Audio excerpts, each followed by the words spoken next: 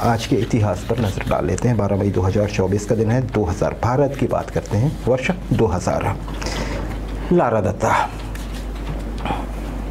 भारतीय मॉडल, पहले मैं मॉडल क्यों बोल रहा हूँ ये बता देता हूँ, क्योंकि आज के दिन ये मिस यूनिवर्स चुनी गई थी। साइप्रस में, हम जानते हैं, मेडिटेरेनियन सी में छोटा सा देश है जो यूरोपियन यूनियन का भी सदस्य है। बिल्कुल छोटा सा। वहाँ पे आयोजन हुआ था जी।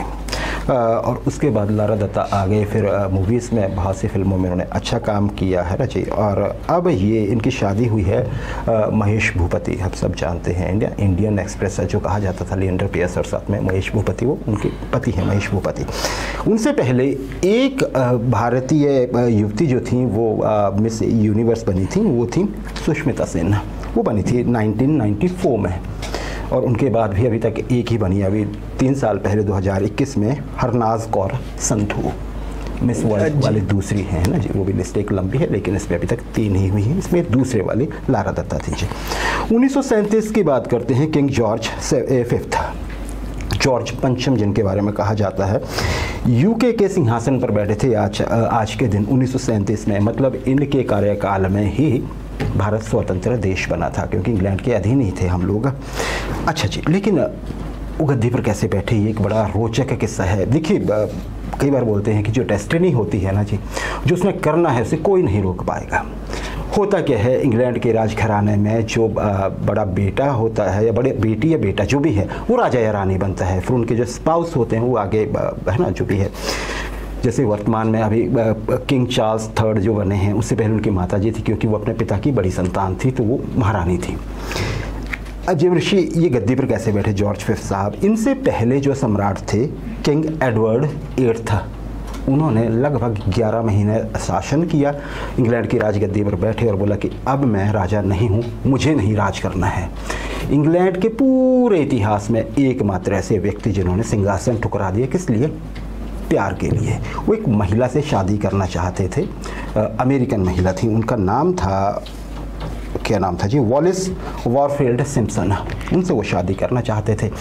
सिंहासन के कायदे कानून कुछ ऐसे थे कि उनसे शादी नहीं कर सकते थे। एक सम्राट होते हुए उन्होंने कहा ओके मैं सम्राट नहीं रहूँगा। ये लीजिए अपनी गद्दी मैं चला। और फिर जॉर्ज फिफ्थ जो थे जी। ये बैठते हैं गद्दी पर। अब देखिए ये कहीं भी लाइन में नहीं थे। जो लाइनेज थी सिंहासन वाली, क्योंकि ये बड़ी संतान नहीं थे राजा के और किंग एडवर्ड के भी वो नहीं थे। तो ये जब बैठते हैं, फिर देखिए उनके बाद कौन बना? कोई है ना एलिजाबेथ अभी हम जानते हैं कि वो, है ना, उनकी डेथ हुई और उसके चार्ल्स तो एक लाइन अच्छी बदल गई। और किसकी?